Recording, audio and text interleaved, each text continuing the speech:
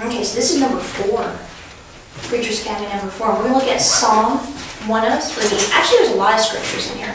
Um, we'll probably next month have some more instruction on teaching, and then we'll go into preaching. Um, that way you can get your preach on. We'll see what happens. Then we'll just go from there, because y'all need longer and longer practices. All right, so uh, I really didn't know where to start because I hadn't been able to work on the Preachers Academy since, oh, I don't know, the last time we got together. And I was having to do it today in the midst of trying to get all this other stuff done. Um, so I was sitting there like, all right, Holy Spirit, what do you want me to teach them? Because I was like, no idea. But one thing he showed me that's really neat is, and I wrote it down here for you guys, the number one purpose for teaching is to instruct Christians in the ways of God so they can walk in them. Shh. Where's your notes? Oh, okay. I'm sorry. Okay. It's like, where? Um, so it's kind of like, just liken it to where a child is learned or taught and learns how to walk, talk, feed themselves, crawl even. They say it's really important before they you know, start walking. All of those things, they're being taught how to basically be a human. You know, and, and it's important because, you know, I don't know if you guys have noticed, but when you have little kids, sometimes they want to play like they're animals, so can't have like the dog season. And I could not get them back like a human. And so you're basically teaching them ways so that they're successful in life. It's the same thing with the Christian teacher teaching believers is how they can be successful in their Christian walk. So that is the number one purpose. And so when you're teaching and instructing in the Word of God, you want there to be lessons that they get out of it that they can apply, you know, in their Christian life, okay? And you should see progress. You know, if you've got Oh, and that's kind of like one of the things we've talked about where you have churches that focus only on getting people born again. And that's great. That's great. That's their, their function. But then you have churches that only teach elementary principles. And that's fine too. But you will outgrow those churches. You've got to have apostolic doctrine, and if the, the Christian stays hooked into that type of teaching, then they will actually begin to look more like Christ, and they will grow. If they don't get apostolic teaching, then they will stay immature. So I bet we could all name someone that's been born again for 10, 15, 20 years that is in the same place they were when they initially had their encounter with God that means they did not get good instruction. Okay? If you don't um, get good instruction, another thing that can happen is you can actually lose that baby. So if you have a baby and you just, you know, hope it fends for itself, uh, it's going to end up dying, right? It's the same thing with Christians. God puts a responsibility of the believer to be instructed, but also anyone that's born in the house the people around him or her need to take the responsibility for helping that Christian in the ways of God. Okay? So it's not just um, the parent, so to speak. It does take a village to raise a child. Okay? So what happens is a lot of times churches rely on the pastor to raise the babies, and they do have an important part to play, but it's actually all believers. And I think, you know, Paul made it plain that y'all should be teaching by now, but instead we're having to go over, you know, elementary things. So I feel that you guys are progressing in how you can instruct people and and getting them filled with the Holy Ghost and all of that stuff so that whenever babies come in the future, whenever what God is going to do occurs, um, we'll be ready. We'll be prepared to help the babies. Okay? Gotta help the babies. All right. So in Psalm 103, verse 7, it says, He made known, known His ways to Moses and His acts to the children of Israel. Now, the word way, okay, so if we're talking about instructing people in the way of the Lord, it means a path, journey, and a path traveled. So, what this is speaking of in verse 7, it says that God made known his paths way he travels, the way he walks, the way he does life to Moses. The children of Israel were not open to those things, therefore they only saw his power. Okay, so that's important to understand. It's also metaphorically the pathway of one's life suggesting a pattern of life, the obedient life, and the righteous life. Now, the word acts is deeds and actions. So you'll find there's actually two types of Christians. You have those that are word based and those that are power or supernatural based. Okay? So liken it to, like a lot of times when I train people, I tell them females usually can build legs easier. They're, they have more leg than men because we're childbearing. Men, have you ever seen those men that they only train the upper body and then their legs are like chicken legs? Okay, so liken the people that have the real stocky legs to word-based people. They have good foundation. They're very strong in the word. They can walk for long distances. They're very stable in storms. But if you try to bring the supernatural into it, they'll often shut down. No, we just need the word. Well, where's that in the word? All the time. Where's that in the word? I've been asked that so many times. Then you have the supernatural people, the ones that go from supernatural conference to supernatural conference, and they're always seeking this experience that they have the big upper body where they can show the power of God, they can show the might of God, but they have little legs. So when storms come, when they need to draw on the Word of God, uh, they don't have any basis, they don't have any foundation, and they're very unstable. They'll be tossed to and fro. You can any new doctrine, any new whatever, they'll go with it. Those people are very and much in danger for being deceived by false prophets and false teachers. Because false prophets, and this is important, false teachers work signs. Okay? So there's lying signs and wonders. And often you don't recognize a false prophet or false teacher because based on their signs, it's their fruit. So the signs will blind you to what's going on. Remember, the Lord didn't say you'll know them by their signs, wonders, and miracles. He said you'll know them by their fruit. And so you have to have uh, both. And in uh, Mark chapter 12, one of the examples of someone that did not have both are the Sadducees. The Pharisees believed in the supernatural. They believed in the resurrection. They believed in the power of God. The Sadducees were another religious religious group. Did not believe in the power of God. They didn't believe in the resurrection, and uh, so they they tried to trick them. But anyway, uh, let's see, Mark 12, 24. And, and, then, and I like to get into religious discussion. Let's actually start Let's start in verse 18, Mark 12, 18. Let's just kind of get the background here. Because they've already tried to trip him up the Pharisees. Now he's got the Sadducees coming. It says, Then some Sadducees who say there is no resurrection came to him and they asked him, saying, Teacher, Moses wrote to us that a man's brother dies and leaves his wife behind and leaves no children, his brother should take his wife and raise up offspring for his brother. Now there were seven brothers. The first took a wife and died and left no offspring. The second took her and he died, and he didn't leave any offspring. The third likewise. So the seven had her and left no offspring, and then finally the woman died. Do you see the ridiculous, confusing religious argument they're trying to do? Religious people use a whole bunch of fancy words and weird equations and all kinds of numbers and stuff like that. And before you know it, you're like, what? What are you talking about? so yeah, that's what they're doing. So then they say, therefore, in the resurrection, when they rise, whose wife will she be? First brother, second, seventh, for all seven had her as a wife. Then this is what Jesus said. Are you not therefore mistaken or in error because you do not know the scriptures nor the power of God? You have to know both. Don't be flaky to where you have little legs, and don't be so grounded that you have tiny arms. Okay? Be well rounded.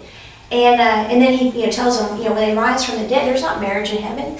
There's not going to be any husband and wife in heaven. Okay? So, to avoid error, firm foundation of the Word of God, firm foundation in the supernatural power. All right? You guys awake? Okay. All right. now, I'm going to read a few Psalms uh, to you guys. Psalm 25. 4 through 8.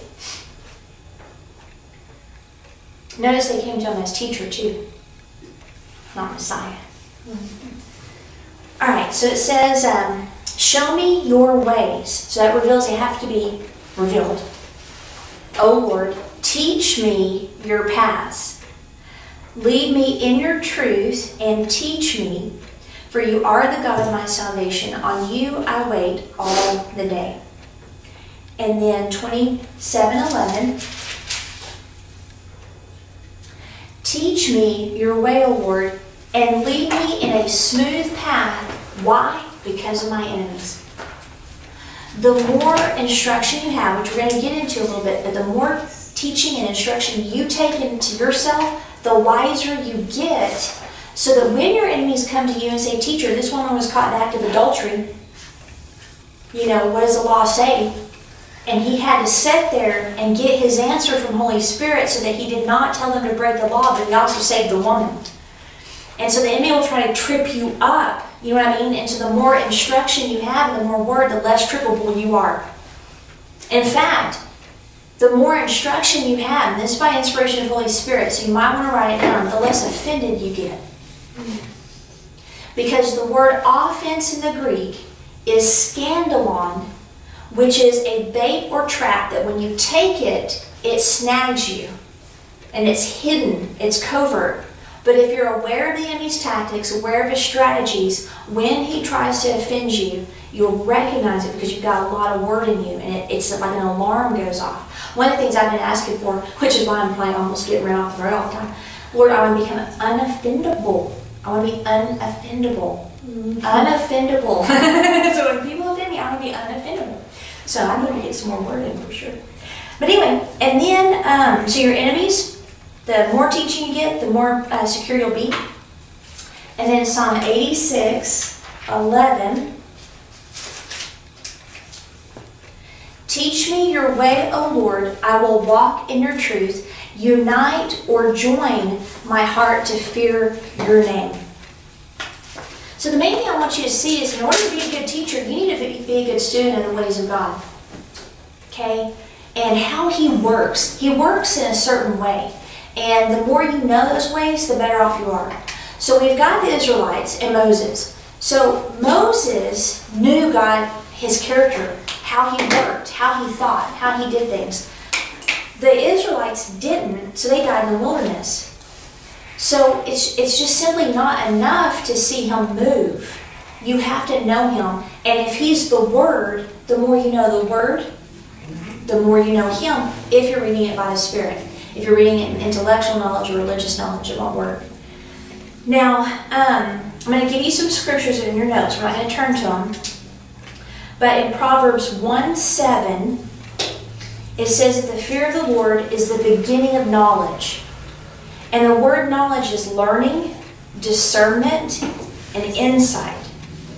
So the more fear the Lord, the more you begin to have knowledge, the more you'll discern things which is very important. It's also associated with wisdom. Proverbs 1 3 says that Proverbs were written to give an instruction of wisdom. In 1 Corinthians 1.30, Jesus is to us wisdom. So basically, we're teaching Jesus. That is the way of God. Didn't he say, I am the way, I am the truth, I am the life? So he's the way to the path of truth, which is the path of life. Okay? Basically, when we learn how he works, we just follow in his footsteps. Huh? We just go right in the path that he walked. It's important, it's important as a teacher to be instructed in the Lord and then impart that instruction to others, which we're going to get into detail next uh, time we meet. As believers mature in the ways of God, they'll begin to walk in greater discernment, insight, and wisdom, influencing decisions in their lives. Until then, the young believer needs to have trusted, mature believers in the ways of God to filter things through. By mature, I do not necessarily mean physical age, but those who have walked in the ways of God for years and have fruit. Those who fear God will receive instruction, those who are fools will not.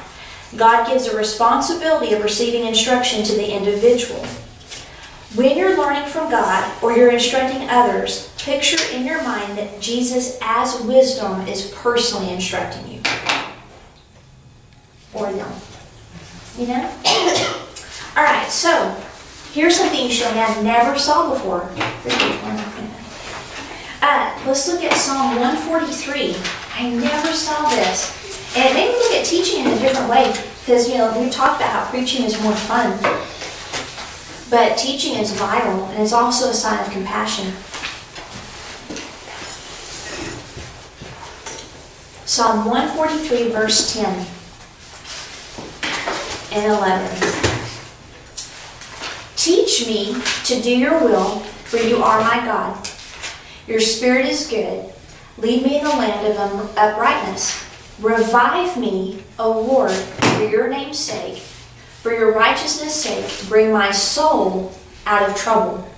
Now, um, we're going to look at 1 Kings before we get into this even more.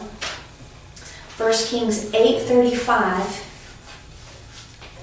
and 36.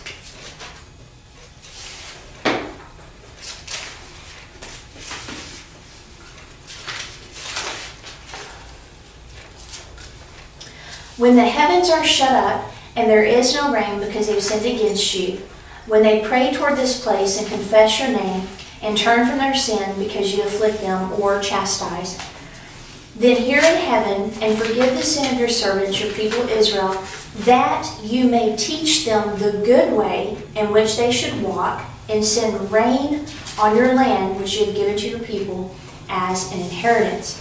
Now, a prophetic sign of revival is rain. Anointed teaching, consistent anointed teaching creates revival. I never saw that before. Um, in Psalm 143, we see that learning to do God's will leads to reviving of the soul. Here we see that lack of rain was a result of sin, the return of rain is a result of repentance, because they were able to learn the way they should walk. This is one reason, reason teaching is so crucial. It brings repentance and then revival.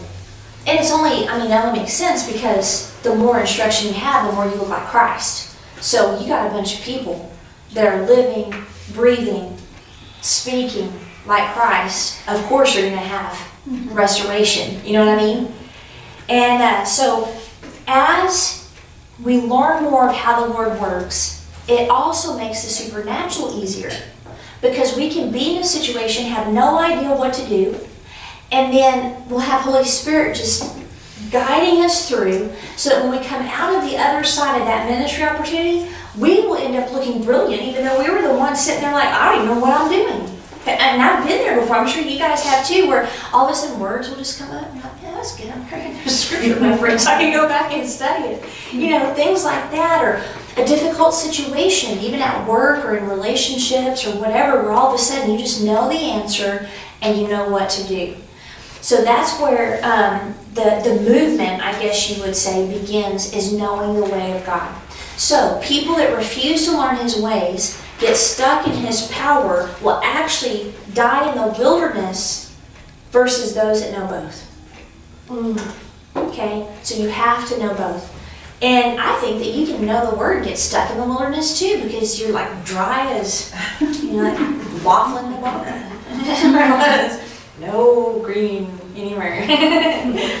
now, um, as the people of God began to walk in His ways and His power, a movement begins. That's how the early church grew and took so much of the known world over. In fact, when the Romans tried to kill them off, you know, by the time they got done after 300 years, uh, you know, they're pretty stubborn, 50% of the Roman population was born again, spirit filled. The way it died is when the Word of God was taken away from the people of God and it was handed over to elite ministers, and they were given the job of interpreting the scriptures and passing it down, you know, to us uh, common people. Right? That's what happened. Laymen, that's what that means, is common. In fact, they had Bibles chained to the podiums, and they were in Latin, and no one spoke Latin by that time. So you had this whole Dark Ages, and get this, lack of teaching or instructing in the Word of God by the common people led to the Dark Ages, impacted the entire world. But when some strong and courageous men said, you know what, enough of this, and they began to put the Bible in the language of the people, and the people got a hold of it, it caused the Reformation and brought light back into society. That's why the enemy tries to either pervert the word or snuff it out. If he can get darkness, and, and that's incredible to me. When the Lord said, let's just go with this. When the when God said, let there be light, we know he was not referring to the sun, the moon, or the stars, because that didn't come until the fourth day. He was releasing the light, releasing the light of the Word of God into the universe that began to this creative process and he separated day from night, and night means to twist away. So then we've got John 1 1 through 3 that says, In the beginning was the Word. The Word was with God. The Word was God. Darkness tried to overtake it, but it couldn't prevail. So the enemy will seek to silence light, which is the Word. Okay? So that's why I believe that there's so much emphasis on political correctness because it's another weapon to silence light. You know, so we got to be aware of these things. How the enemy, how is he moving right now to get the word of God shut down? Because he knows if he can do that, then it'll throw a country into chaos. Okay? Uh, let's see. Christians knowing the ways of God brings light, not just to the body, but the whole world. All right, we're going to go back to Mark chapter 12. You know funny? Before the Chinese persecution, um, there were 1 million Christians. And uh, after the Chinese persecution, there's 100 million.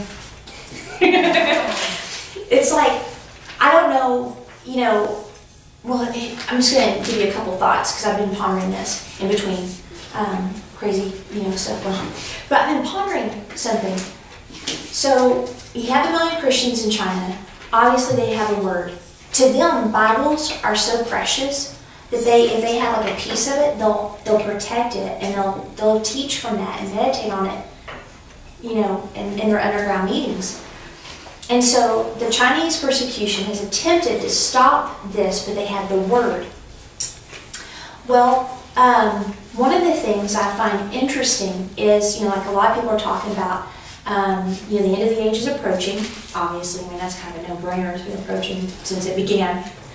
so, you know, but one of the things is this whole um, one world order, all of that stuff, okay? So Christians would do well to get as much word in them as possible and to press it or pass it on to their children as possible. But get this. So the, uh, the country of Britain leaving the EU. Now let me tell you how significant that is prophetically. It is God's grace because everybody has said that the EU is part of the end time one world government. And out of God's mercy, the people of that country rose up and said, we are tired of being told we can't have toasters. We are tired of being told that we have to take immigrants in that want to kill us. We're tired of all of this. And they stood up and they have literally stopped something that the enemy is pushing prematurely. You know what that means for us? What we've been saying. The greatest movement in Christianity in America is at the door. Because if you've got that over there, I guarantee you it's happening here. You know what I mean? So it's not the end yet. The mm-hmm. tribulation is not starting yet. God, in His mercy and grace, is giving us more time to get the Christians mobilized so that when it really does begin, you will have a people that are in the Word and the power that know their God. Let me show you the scripture. It's in Daniel. It's on your notes. If I want to write this down.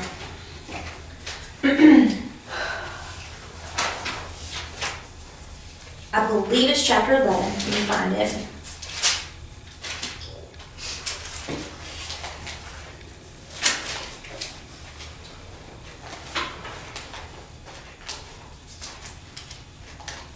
Yeah. Daniel 11,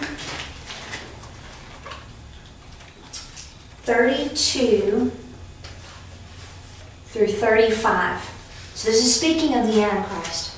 But it was also partially fulfilled during um, Antiochus Epiphanes' uh, reign over Israel where he slaughtered the pig and this abomination desolation, the Maccabees and all that happened. Those who do wickedly against the covenant, he will corrupt or pollute with flattery, but the people who know their God, not his acts, but know God, okay, shall be strong and carry out great exploits. And those of the people who understand shall instruct many. Yet for many days they will fall by the sword and flame, by captivity and plundering. Now, when they fall, they'll be aided with a little help, but many will join them by intrigue or flattery. So you have false Christians coming in, okay? And some of those of understanding shall fall to refine, purify, and make them white until the time of the end, because it's still for an appointed time. Do you see the role of instruction? The role of instruction. So you've got this situation that happened at that time, but will happen again. Because remember, Jesus said, when you see the abomination of desolation, he was telling the Israelites, when you see that, don't go back to your house. Don't go back. You know, run to the hills. Now, we as believers is a little different, but these are Israelites that the Bible says that when the Lord shows up, there will be such an intense purging and refining that only a third will remain. And so he says, when you see this, run. Those that obey will be protected. During the time of this, we who know the word will be instructing because it's going to spread like wildfire all over the world. So I just want to stress you guys the importance of teaching. You know, that it's not just getting a good message together. You're literally forging and forming the character of people and preparing them for persecution, preparing them for difficult times, bringing encouragement like, well, why is this happening? Well, it's happening because of this, and it's revealing the ways of God to them. And it's also preserving a lot of people in the world. One of the things I found extraordinary is when the Roman Empire fell, just a little quick another history lesson. You know how the civilization was saved? By a Roman monk. I mean, an Irish monk. And he was a slave, and he was in his field one day working, and God told him, start walking. And so he just started walking. And then he said, now go here, go here, go there. He got to the shore, and then the Lord said, go talk to that man, he'll let you on his ship. He said, no. So he sat down and waited, and then the guy came over and said, well, where do you need to go? Ireland. He said, okay, I'll take you. He goes to Ireland, and with him, he takes the ability to read the scriptures and to read words. And so when he got over to Ireland, it's how the Irish saved civilization. He trained other monks to read and write, and they preserved the scriptures, and it kept uh, civilization from going into utter darkness because of a lack of being able to read and write. That is amazing to me. And they did it with scriptures, the Word of God. So it's powerful, the light of God. And do you know that your words never stop? Science has shown they just keep being sounded forth and they don't know how long. They've had words where they picked them up on signals, radio signals that would interfere with broadcasts that were from like the mm-hmm. 1950s, you know? And so your words are ever going forth producing good or bad. So that's why we have the power of God to cancel out the bad, right? So anyway, it's just, it's powerful. It's powerful. Now, a very, very important characteristic of being a teacher is not having fear of man. That is way important. There's something you get, you cannot fear man. All right. Um, here's a couple things that can happen. So, if you fear man more than God, or if there's a spirit of greed, and, and you'll see this sometimes in churches, they will begin to fa fashion their messages not on what Holy Spirit is telling them to say, but how they can keep everybody pacified and everybody happy so they'll keep giving their tithes. Mm-hmm. Okay? So I'm sure y'all noticed the furnace. we don't care. but you've got to care about the people more than them liking you, and you have to care about the people more than money. You know what I mean? And if a person cannot receive the word of God, they leave, that's on them. So you just have to preach truth. Guys, there have been times that I have been preparing a message and God tells me something that is so, like it hit me, that I'm not putting that in there. And I'm like, no, I'm not doing it. He about put it in there. He rebuked me once. He said, who do you think loves him more, me or you? Put it in there. And I remember I was so anxious, I was so nervous to say it, you know, because I was afraid I'd hurt people or the people think I was targeting them.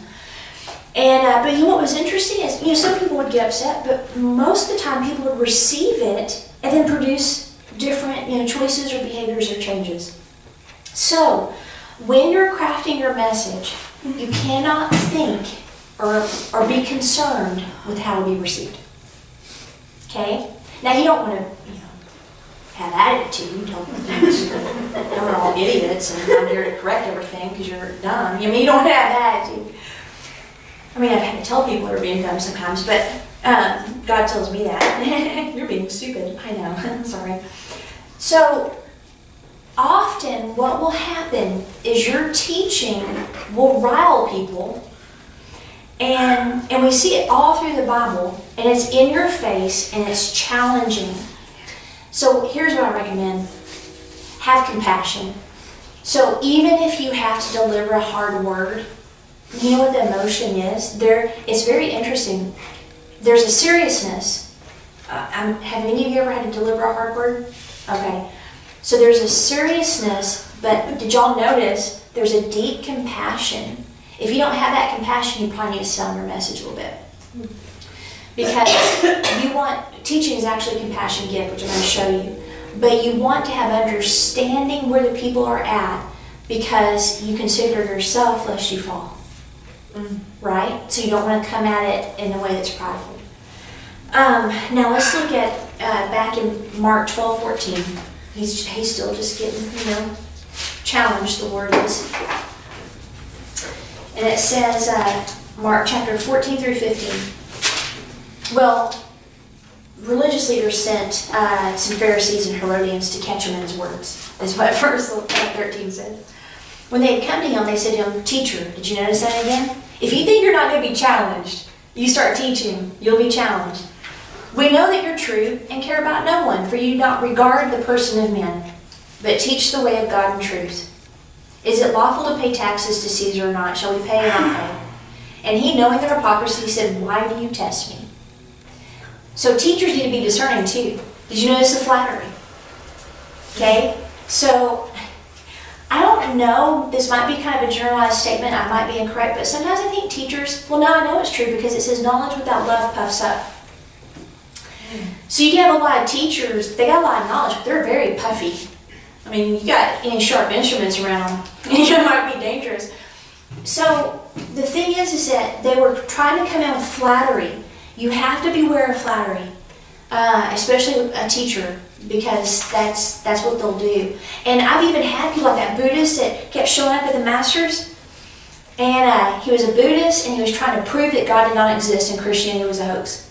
And he was going around to the different ministries and home groups. It was when we started the furnace. And man, I knew the minute he walked in, I could feel that spirit of flattery. And uh, so I was like, you know what I'm saying? And he comes up and he starts off with very flattering words, just like this, and I'm sure you're very knowledgeable. And whenever people say that, I'm like, I know you're doing. And I'm like, mm-hmm, mm-hmm. And he goes, but how can you really prove that God is real? And I said, well, how can you prove that he's not? And uh, he said, oh, I see that you're very learned. And I'm just staring at him. I wouldn't really say anything. And he goes, well, you know, I just believe that Christians, the reason they're Christians are believing a myth and you know, they need a crutch and blah, blah. And uh, I said, well, uh, I have a question for you. And he could, you know, because you can't see on all that. And I said, he goes, what? And I said, do you see air? Do you see oxygen? And he said, well, no. I said, do you believe it exists? he goes, yeah. I said, why? Well, I'm alive. I said, there you go. You know? So he knew I better not mess with her because obviously, you know, so he went for the baby. And I'd watch him walk in and he'd go straight for her. So I'd get on the phone and I'd say, hey, Desiree, there's a dude coming back to that one. And uh, so if you have any problems, you let me know. she said, okay. And we had this whole thing to watch out for him. And finally, lady, one of the ladies that came for the dancing, with one of the feasts we did, she put him in her place and she let everybody know what he was doing. And he would act like he was a Christian and he would use flattery. So you're going to see that. So the Lord saw it, but here's what I want to point out. They said, uh, you care about no one and you have no regard for the person of men, but teach the way of God and truth. Okay? That's the best compliment you can get. That wasn't flattery right there. That was a compliment they didn't even realize it. So, the religious people were using the Lord's lack of fear of man to try to trick him. It didn't work. And it's also evident from their words that his messages were very well known for not mincing words. Now, Acts 4:17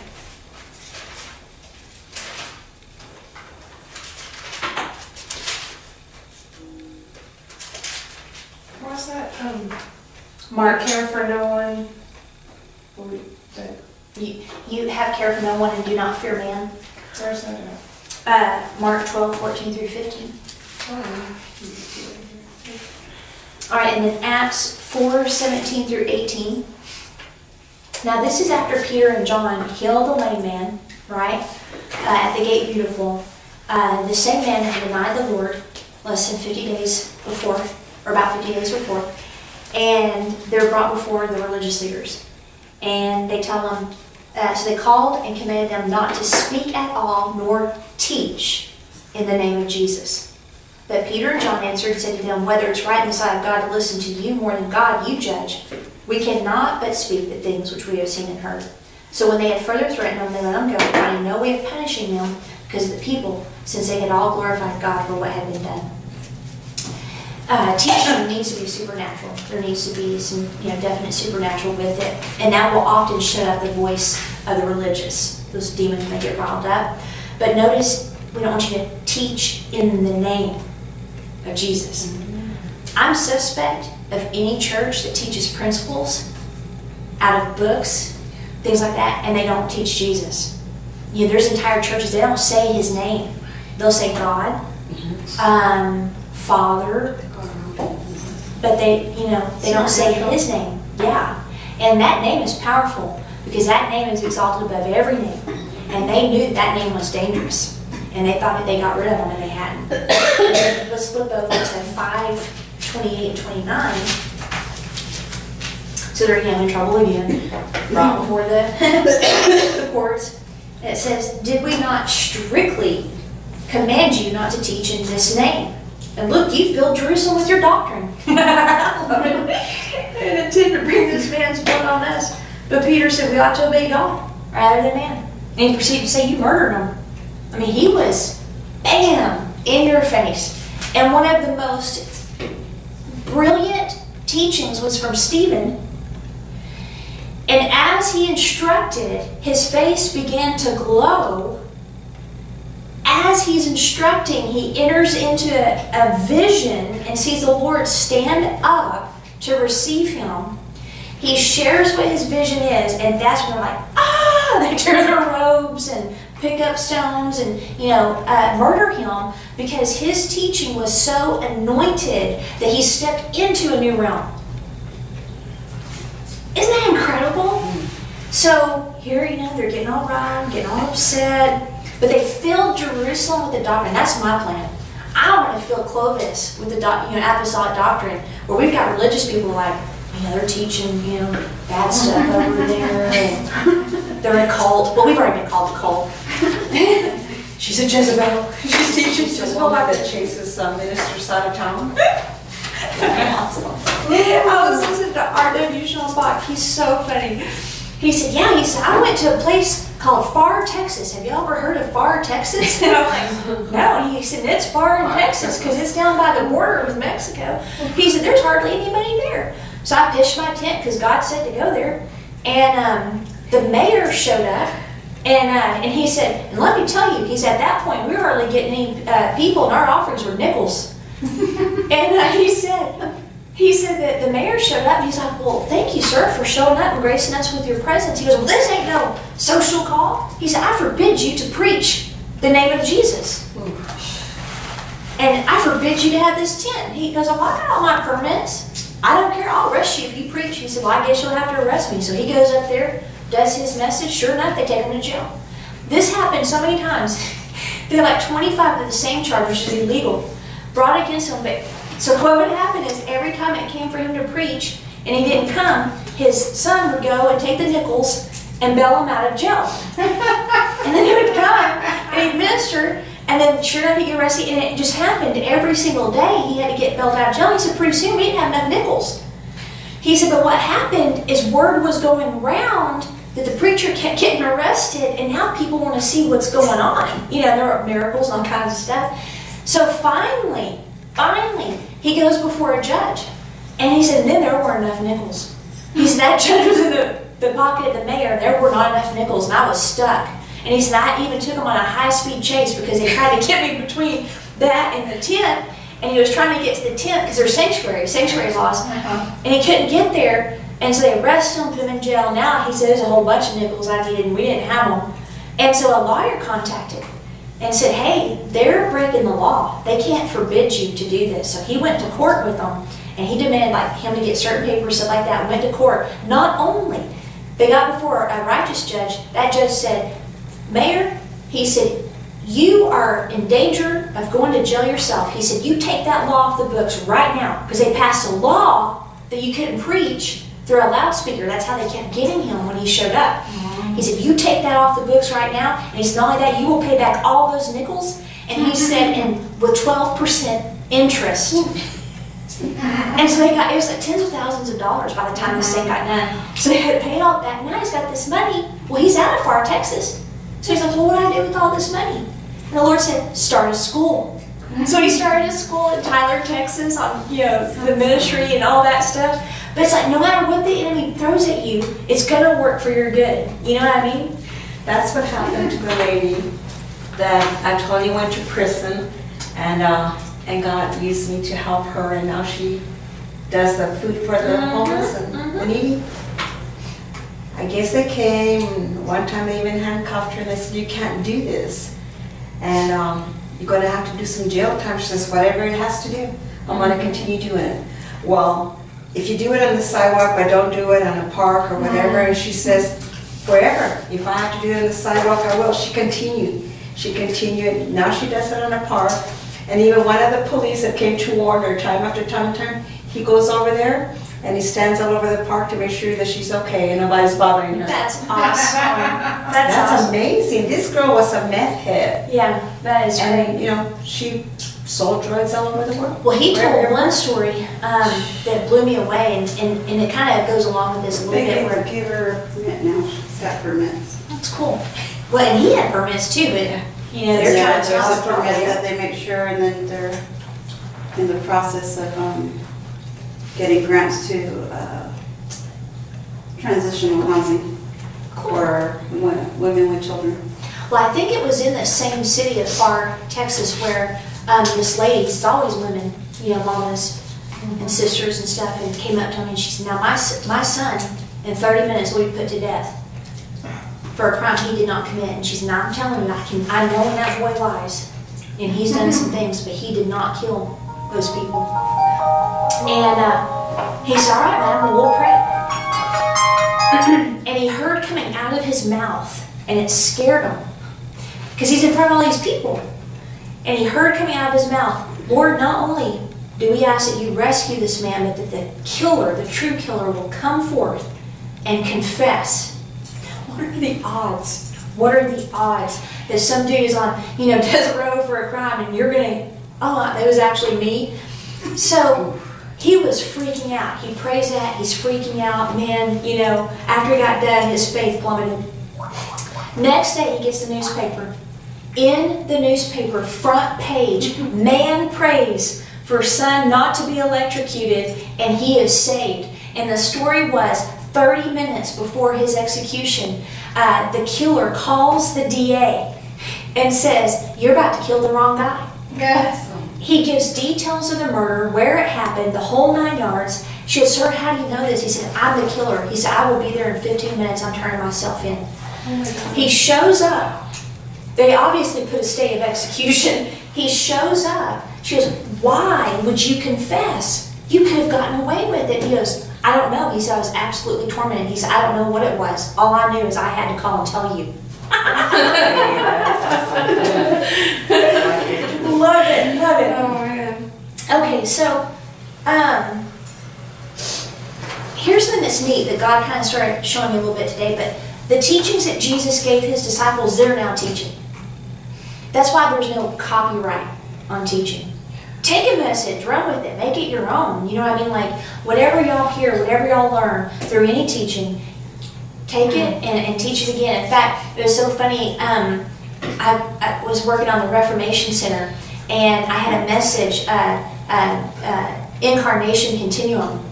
I wanted to have it to be a title of one of the things, and basically it's the fact that Jesus lives in us now, and it's we just continue what He started, you know. And that's Dr. Harfouche's title of the last, you know, course. So I emailed uh, Esther and I said, "Would Dr. Harfouche mind if I use that in one of my teachings because you know they're just it's just such a great title." And she goes, "Absolutely, he doesn't mind." Teach his whole thing. He doesn't care. I'm like, well, I own stuff. You know, I'll use part of it. But anyway, that's how it should be. You know, whatever you hear that's God, feel free to you know pass it on. You actually did just teach some Harfouche from the lesson I just listened to, so. And some of it, like you don't even know. It was amazing. You know what I mean? And then it becomes a part of you. And that's that's why that's such a good thing is that you have to make sure that you're teaching Christ. Because if you're teaching yourself or something else, that's what you'll reproduce in the people. Now, so we got the oh, we got the religious leaders, you know, uh, upset. We got the people upset. Now let's see what anointed teaching does to demons. They really don't like it. Look at uh, Mark 121. We're almost almost done. I love this story. So uh, 21 through 28. Then they went into Capernaum, and immediately on the Sabbath he entered the synagogue and taught. And they were astonished at his teaching, for he taught them as one having authority and not as the scribes. Now there was a man in their synagogue with an unclean spirit, and he cried out, saying, Let us alone. What have we to do with you, Jesus of Nazareth? Did you come to destroy us? I know who you are, the Holy One of God. And so Jesus rebuked him, saying, Be quiet, or shut up, and come out of him. And when the unclean spirit had convulsed him and cried out with a loud voice, he came out. And they were all amazed. They questioned themselves, saying, What is this? Manna. You know that's what manna means? What is it? And he's not the bread from heaven. Yeah. The bread was teaching the bread. What new doctrine is this? For with authority he commands even the unclean spirits, and they obey him. And immediately his fame spread throughout all the region around Galilee. Teaching is supernatural. And so the more anointed the teaching is, the more it's going to rile up anything that's demonic and that's trying to hide, which tells me that a lot of what's being taught is not that anointed. So as we get even more anointing at the furnace, we're going to see people that used to, they could come and that demon would stay hidden, there'd be no big deal, and all of a sudden, ah, you know, it's going to fall on the floor and stuff. So you got to be ready, right? Got to be ready, take care of business. And then the They person will manifest. manifest and shove you and Yes. you're like, oh, I see what you got. All right, now I did not know this. In Mark 6:34, there's so much in this tiny little book. Mark, he was a man of few words for sure. You know John Mark that wrote Mark. He's the one that Paul and Barnabas had to fight over. Yeah, because he was Barnabas's, I think, nephew or cousin. He was a family member, and he went with him and Paul, their one of their missionary trips, and he flaked out. He's hot and tired and he go home. so when Paul got back, I, believe to Antioch, I'm not sure, and it's time to go again, Barnabas wanted to take John Mark, and Paul's like, no. He's like, well, he'll be better this time. No. And they split. It was such a contention that they split. Paul took Luke, who wrote, you know, Luke in the book of Acts, and then Barnabas took John Mark. Later, we find Paul, right before he's going to be killed, asking for John Mark to come to him. Isn't that So neat? he was one of the, the twelve though, right? No, not John Mark. So he, John Mark wrote this book. Mhm. Book of Mark. Yeah. Oh, so like, if he didn't walk with him, so some of the, so this is where I get kind of confused. They just write what they were told? What they were taught. By the Holy, and then the Holy Spirit, and he was like, okay, and this is what happened. Yeah, this is the only book that was not written by one of the original 12 in the Gospels. Oh. That's really neat, I didn't know that. The rest were. Um, and then the book of Acts, you know, Luke was a doctor, so I don't know if you noticed, these are very detailed. They're like, you know, 50 something chapters, man. And, uh, and he wrote the book of Acts to a dude named Theophilus who wanted to know about, you know, things. And so he got this entire, like, how many hours, days, weeks, months did it take him to write all that out? And it's crazy. All right, so uh, 634. Yes. God showed me this today. I was shocked. And Jesus, when he went out, saw a great multitude and was moved with compassion for them because they were like sheep not having a shepherd, so he began to teach them many things. So his response here was to teach. And so teaching, just like doing miracles, is a, a, a compassion gift. And I never saw that ever. Like you would think that he'd gather them up and maybe pass out some food and you know different things, but he didn't do that this time. Compassion is different from sympathy or humanitarian efforts, and that compassion meets the need. Hmm. So it's like um, the people may not even know what they need. You know what I mean? Like you might think that you need something else, but God will meet you with what you actually need, and He'll be moved with compassion for you. So other times you'd see Him like compassion would hit Him, and He would heal people. Um, and so in this instance, He saw that they didn't have shepherds. That also shows you that a true shepherd's role is to provide good good teaching, good food, and um, and it's the the, sh- the sheep's you know responsibility is to receive that. So I, I asked the Lord why. I was like, well, in this instance, why was it teaching that was the answer? And He said, because good sound teaching will instruct people in my ways, and that is what leads them out of bondage, poverty, sickness, wrong mindsets, bad relationships, and more. Instruction in God's ways leads to His life for those who receive it. So the more you learn, the more life you got. Mm. And then Psalm 23.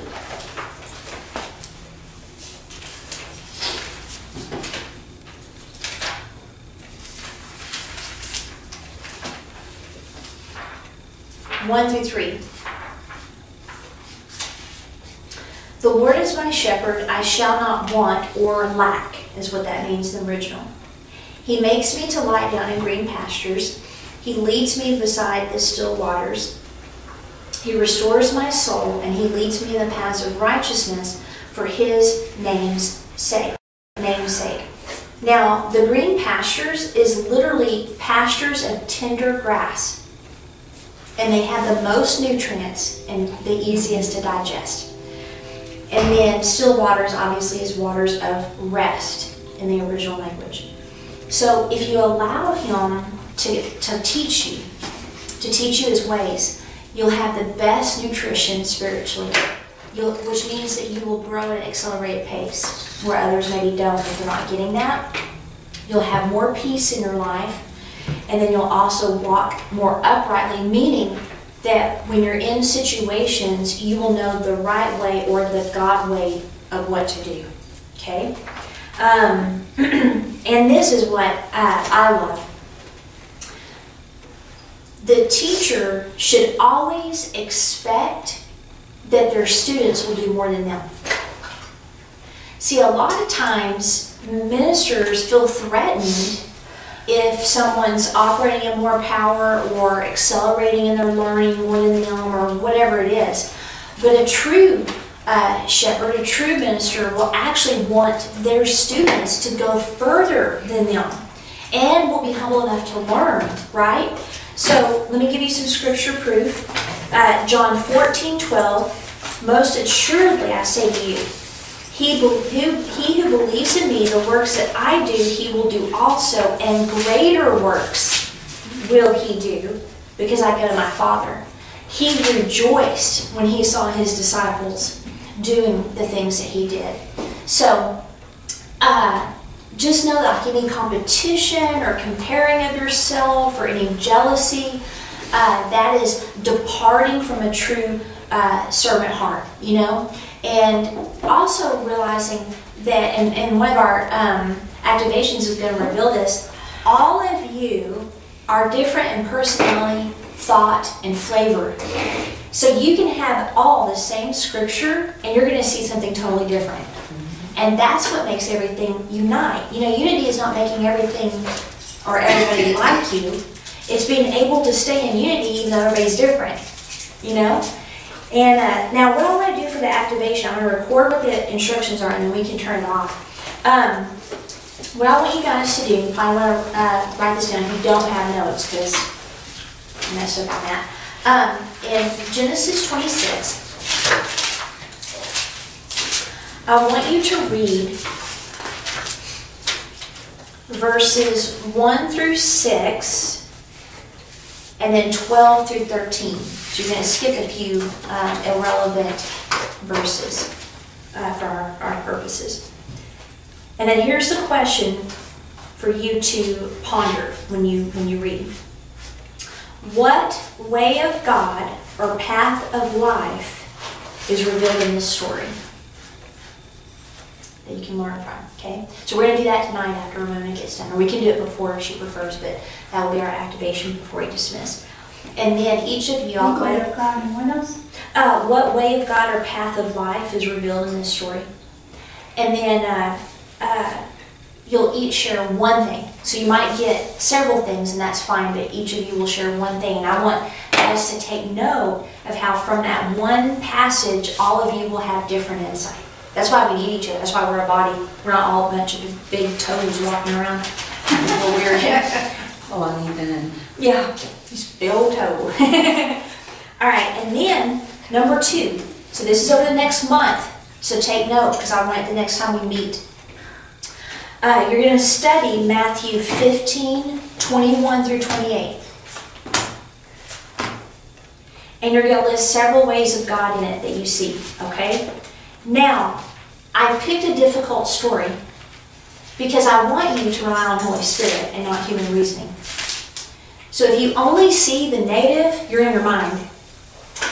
But if you if you see what's actually going on in this story, it'll be from Holy Spirit. So beware of that. If there's any negative kind of creeping in, or that was kind of mean when you said that, then you're you're in your head, okay? Just to give you a clue. so several ways of God. Mm-hmm, yeah. So look for several ways of God in it, because that's what it's about, right? Finding how He works, His ways. And look for what God is doing and revealing in His interaction with this lady.